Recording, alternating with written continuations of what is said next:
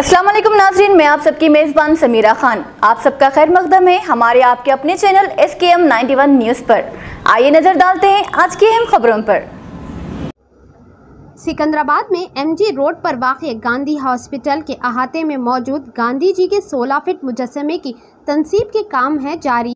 मुमकिन है कि कल गांधी जयंती के मौके पर इस मुजस्मे की नकाब कुशाई की जाएगी। आज फ़र्स्ट अक्टूबर को रियासत वज़ीर तेलसानी श्रीनिवास यादव ने मुख्तलिफ़ अहदेदारों के साथ इन कामों का जायज़ा लिया। इस मौके पर वज़ीर के हमरा G H M C H M D A और पुलिस के अहदेदार मौजूद थे। कल 2 अक्टूबर, यानी गांधी के यौम पैदाइश के मौके पर मुजस्मे की नकाब कुशाई के बाद चीफ मिनिस्टर केसीआर साहब हॉस्पिटल के अहाते में मीटिंग में शिरकत करेंगे। आइए देखते हैं हमारी नुमाइंदे जाफ़र की ये खास रिपोर्ट में इसके मजीद तफसलत। S K M ninety one news के editor in chief Ishtiyaq Ahmed के साथ हर अहम और ख़ास खबर के लिए हमारे news channel S K M ninety one news को यूट्यूब पर सब्सक्राइब करें।